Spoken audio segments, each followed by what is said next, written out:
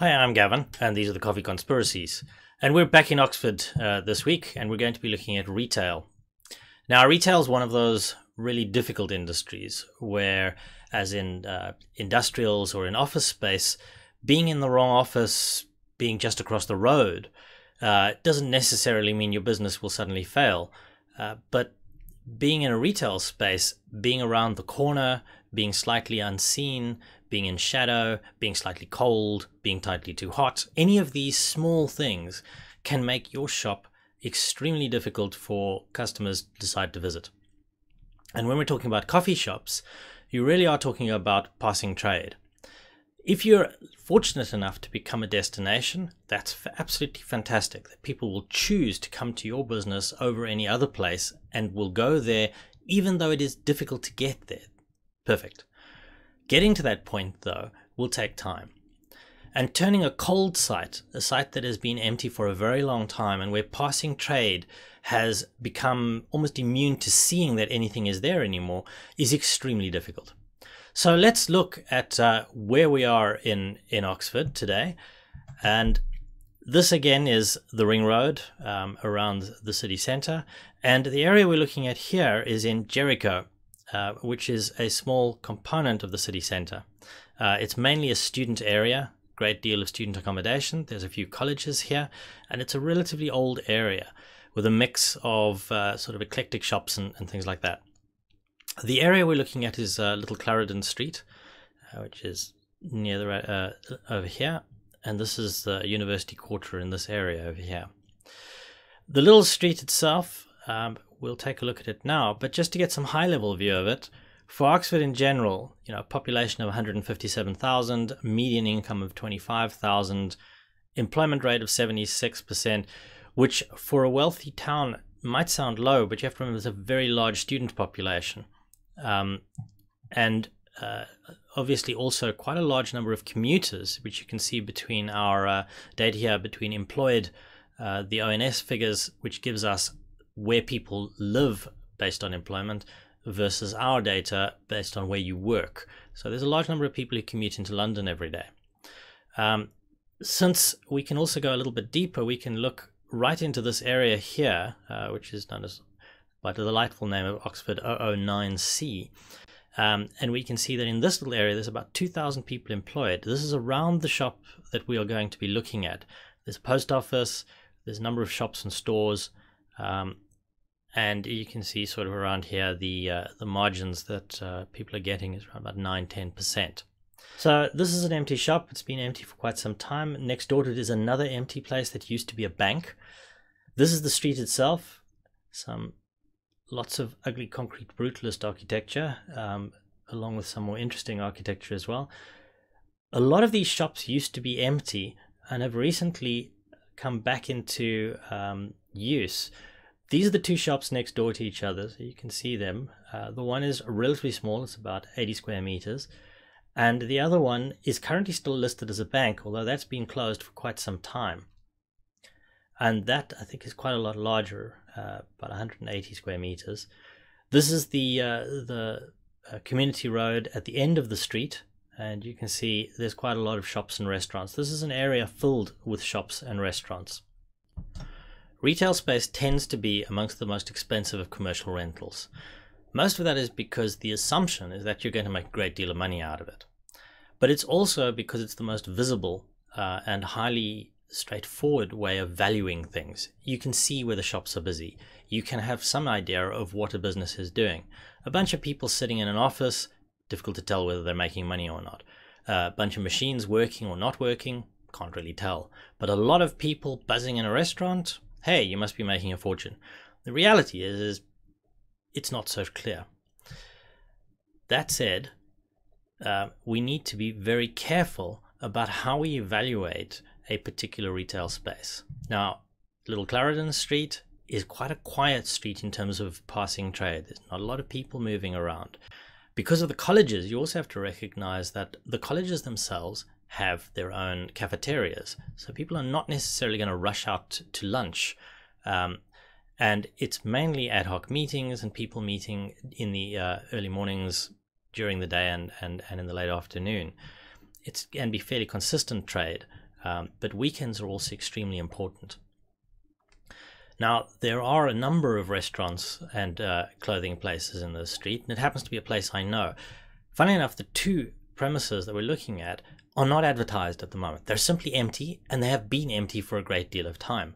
I can't show you how long objectively because, as I mentioned in the last episode, Oxford does not share vacancy data, so we can't tell you exactly how long these places have been empty.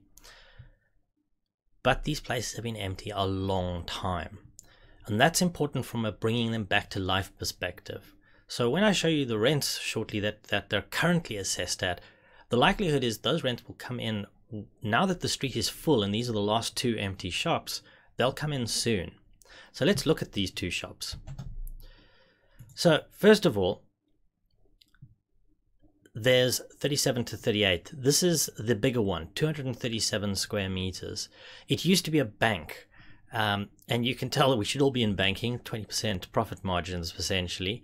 Uh, but here you need to remember about how high street banking works. It's not really about the money that they make specifically there. It's about advertising and branding and about being visible and present for consumers as they walk past, and only partially about the business that is done in a specific retail branch.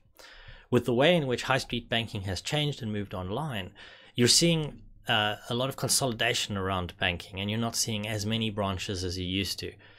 And this place will never probably come back as a bank. It will need to be uh, re uh, reclassified for use, and that's a process that whoever takes it over is going to have to do, uh, or the um, uh, council is going to have to do that in advance. At the moment, though, it's simply a uh, some sort of uh, professional services firm could take it over, working in finance.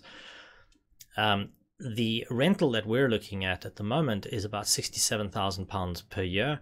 It is likely to be a lot more than that when it eventually goes on the market. And being so large, uh, you're also going to have quite a large amount of fitting costs. Uh, this is a place that has not been in use for a very long time, and when it was used, it was for a, a, a performance that is just not going to be something you want to use now. The one next door is a little bit easier, 36 Clarendon, Little Clarendon Street. That's an 80 square meter, 79 square meters um, requirement. The rental valuation on that is 31,000. Um, and you can see that our estimated break even for this and the the the um, is about 750,000 versus this 2.5 million for such a large place. Um, the margins though in retail are a lot lower, 8%. Notice this is a retail site, not a food premise. If you decided that you wanted to have a coffee shop in there, it would also need to be reclassified. Now, my feeling is, is that this particular street cannot cope with closing stores. There isn't enough passing trade. Um, there are uh, there's a huge new uh, shopping center opening up in the center of Oxford very shortly, and there will be a lot of low cost budget places going in there, um, and a lot of some of the more high up end uh, uh, brands going in there as well. So while the street is extremely full of uh, restaurants, this is kind of a restaurant and coffee shop place. Uh, it's where people come for entertainment. There's a cinema down the road. There's uh, a fair number of these. Um, there's a wine bar on the corner. So the likelihood is this will just become a cluster of places choosing the right type of coffee shop or the right type of restaurant uh, will be important. You'll need to fit in with the general uh, component of the area. But mostly, we're looking at a place that, uh, as long as an 80 square meter is, is quite small, um, if you're looking at a, uh, a, a budget there to try and figure out how much you need to spend to be able to, to fit it out, I usually work on taking your break even and multiply two as, as the amount of cash that you're going to need in total to be able to get your business going. If you're looking at £750,000 for fitting, that might sound like quite a lot.